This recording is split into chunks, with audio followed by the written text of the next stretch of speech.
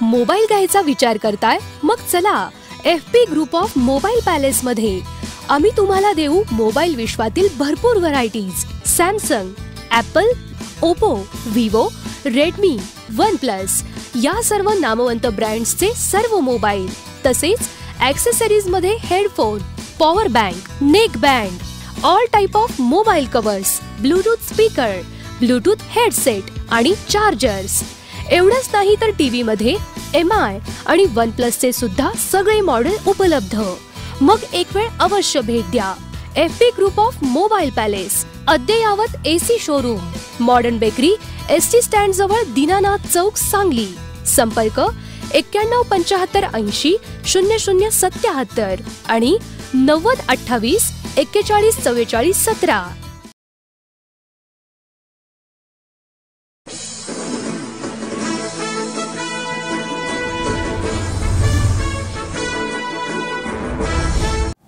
नमस्कार मी सुनील लाटेकर आणि आपण पाहत आहात लोकसंदेश न्यूज.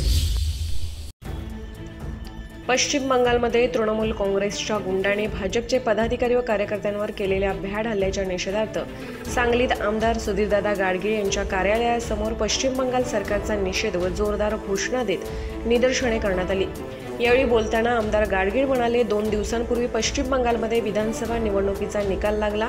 त्याच दिवशी संध्याकाळपासून तेथे नरसंहार सुरू झाला. तृणमूल काँग्रेसच्या कार्यकर्त्यांनी भाजपचे नेते व कार्यकर्त्यांना शोधून काढून त्यांच्यावर त्यांच्या घरावर भ्याड हल्ले केले. यामध्ये नऊ ते दहा कार्यकर्ते मारले गेले. हा अधिकृत आकडा आहे का? प्रत्यक्षात खरा आकडा किती आहे हे देवालाच माहिती.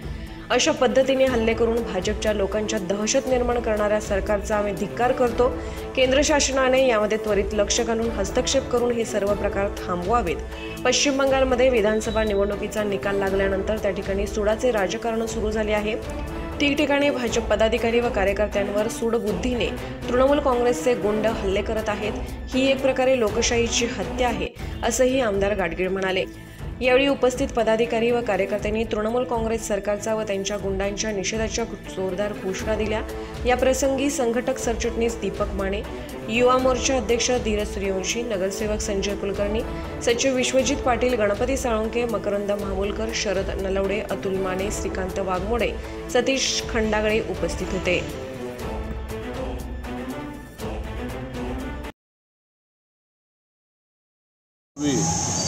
पश्चिम बंगालचा निवडणुकीचा निकाल लागला. त्या दिवशी संध्याकाळपासून बंगालमध्ये नरसंहार सुरू झाला. टी एम सीच्या कार्यकर्त्यांनी नेत्यांनी भारतीय जनता पार्टीचे कार्यकर्ते नेते यांना हुडकून काढून त्यांच्या घरावर त्यांच्यावर हल्ले करून आज जवळजवळ नऊ ते दहा कार्यकर्ते आमचे मारले गेलेले आहेत. त्यांचे खून झालेले आहेत. हा ऑफिशियल आकडा आहे. प्रॅक्टिस प्रत्यक्ष किती आहे देवाला माहीत. अशा तऱ्हेनं गुंडगिरी करून भारतीय जनता पार्टीच्या लोकांच्या दहशत निर्माण करण्याला या सरकारचा आम्ही धिक्कार करतो आणि केंद्र शा शासनाने ताबडतोब हस्तक्षेप करून ह्या सगळ्या गोष्टी थांबवण्याची आम्ही त्यांना विनंती करतो.